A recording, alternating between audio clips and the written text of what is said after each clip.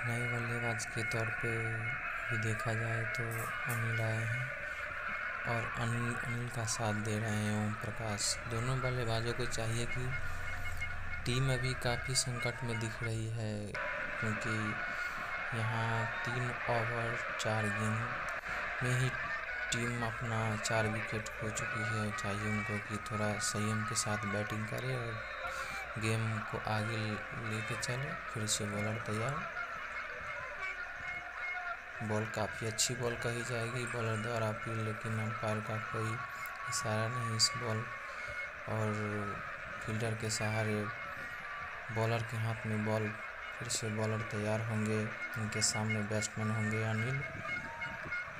काफ़ी अच्छी बॉल कही जाएगी बॉलर के द्वारा, बॉल जाके सीधे बैट्समैन के पैरों में जाके टकराई, फिर से बॉलर तैयार बॉलिंग मार्क पे ये काफ़ी अच्छी बॉल कही जाएगी, जिसे बैट्समैन ने पॉइंट के क्षेत्र में खेल के एक रन पूरा कर लिया और इसी एक रन के साथ टीम का कुल योग सोलह रन चार विकेट के नुकसान पे, चार ओवर की समाप्ति पे।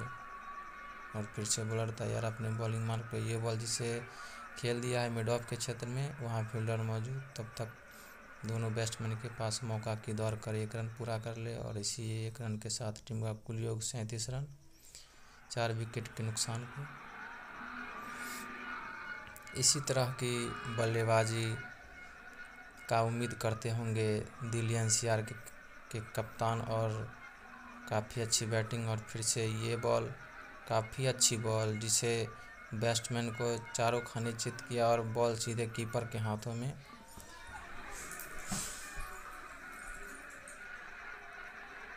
तो इसी तरह देखा जाए तो बिहार के बॉलर द्वारा काफ़ी कसी हुई गेंदबाजी देखने को मिली आज इस मैच में।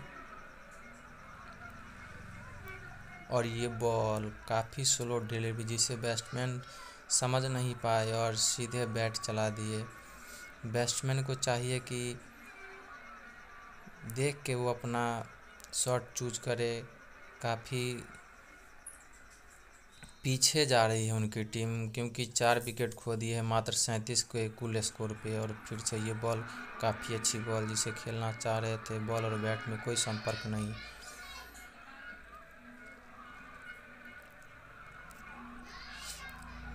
दोनों बैट्समैन को चाहिए कि अपना स्ट्राइक रोटेट करके अपने रन गति को आगे की ओर बढ़ाए और उसी उसी पे शायद चलना भी होगा बैट्समैन को और फिर से ये बॉल स्लो डिलीवरी लेकिन स्ट्रेट एरिया में खेल के दौड़ के एक रन पूरा कर लिए।